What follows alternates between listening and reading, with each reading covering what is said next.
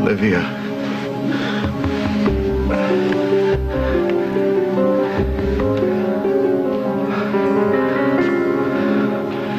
Why did you do this?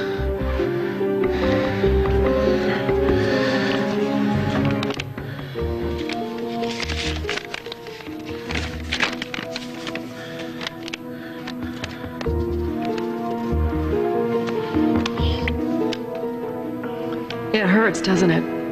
When someone does something to you against your will. You promised me the world, Alan, but you didn't keep your promise. The love I felt for you, gone. Our child, gone. And our future children will never be. You took away all my choices when you switched those birth control pills. Now I'm taking away yours.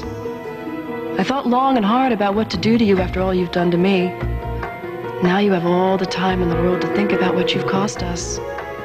All the time in the world.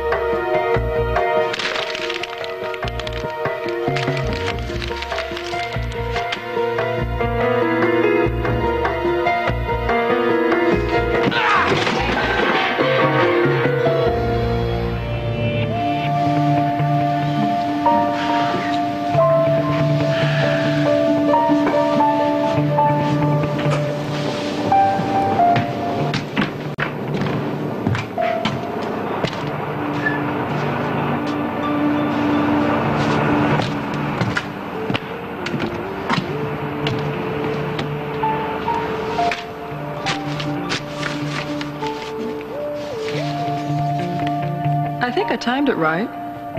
Right now, as you're cozied up to my letter, Philip and I should have just finished brunch in bed. And we need the sustenance so we can make love again. And no protection is needed thanks to you. I'll never have children again, Alan. Now, I'm sure this letter is making you very angry, but again, you only have yourself to blame. You must think me impossibly cruel, but you drove me to the place I am right now. You made me barren, Alan. You left my conscience barren. I can do anything now. And as for my heart, I leave that to your son to heal. Enjoy your stay on our island, Alan. Enjoy being alone with your thoughts. I'll send someone along to fetch you. One of these days.